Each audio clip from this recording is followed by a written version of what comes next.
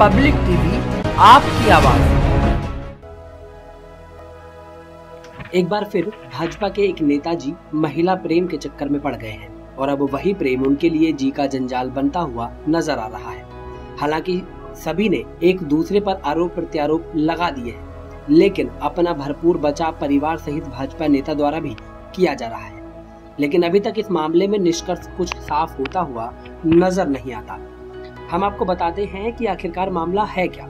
दरअसल मामला थाना मजोला क्षेत्र अंतर्गत निवासी भारतीय जनता युवा मोर्चा के मंडल उपाध्यक्ष का है, जिन्हें महिला के पति ने उन्हें रंगे हाथों अपने ही घर में पकड़ लिया और अब वीडियो बनाकर सोशल मीडिया पर वायरल कर दिया।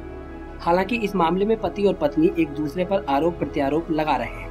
लेकिन इन दोनों के बीच में कहीं न कहीं दरार की दीवार भाजपा के नेताजी द्वारा पैदा कर दी गई, जिसका अंजाम ये है कि आज एक परिवार की वीडियो सोशल मीडिया पर खूब वायरल हो रही है।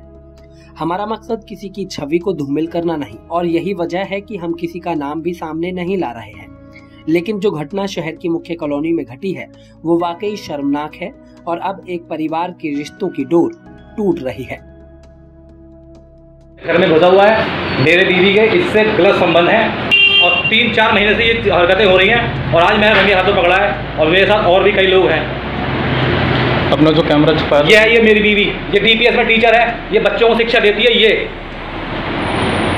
आप सब लाइव देखो और इसने मेरी ज़िंदगी आराम कर रखी मुझे गुनागार बताती थी ये। और रोज केस के काम है। रात आप अपना नाम बताओ। मेरा नाम सौरभ। सौरभ पूरा नाम। सौरभ कर सौरभ कर अच्छा। आप करते क्या हैं? मैं इंडिया पुलिस कंपनी में अच्छा। आप बीजेपी से भी रिलेटेड हैं? हाँ, युवा मोर्चा से। युवा मोर्चा से। किस पद पर तैनात हैं?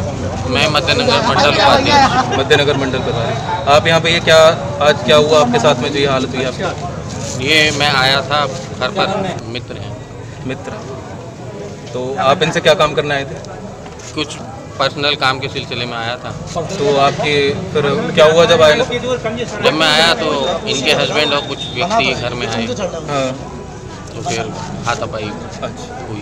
तो आप अपने इनके हस्बैंड की प्रेजेंस में क्यों नहीं आए? मुझे ऐसा पता नहीं था कि इस समय इनके हस्बैंड नहीं है क्या काम करते हैं। तो प्रेजेंस में इन लोगों ने क्या करा आपके साथ में?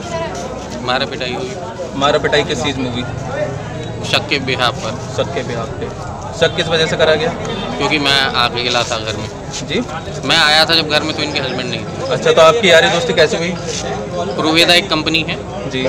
उसके थ्रू हम लोग मिले थे। अच्छा तो ये आपका आना जाना कब से लगा हुआ है? ये मेरा दो महीने से। दो महीने से। आना जाना मेरा नहीं है कंटिन्यू जी जी। मैं एक आध बार इनके हस्बैंड की प्रेजेंस में आया।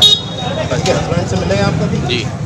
क्या हुआ क्या? मेरा हस्बैंड मुझे मारता है पूरी तरीके से, जिसकी वजह से मैंने 18 13 जनवरी को मेरे हस्बैंड ने मुझे मारा, मेरी आँख फूटी, ठीक है?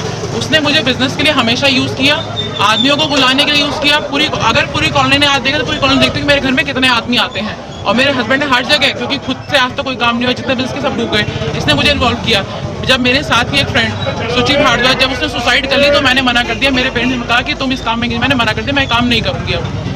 क्योंकि मेरा भी नाम खराब हो रहा है। तो मेरे हस्बैंड ने कहा कि क्यों नहीं करेगी? मेरा पैसा फंसवाया हर जगह से मुझे बेवकूफ़ बनाती है और पीछे अभी पीछे भी उन्होंने मेरे साथ मारपीट करी। तो आपके हस्बैंड आपको बिज़नेस के लिए यूज़ करते हैं? हाँ मेरे हस्बैंड मुझे यूज़ करते हैं बिज़नेस के लिए। और उसके उसके उसका ऐप पे सारी डिटेल है।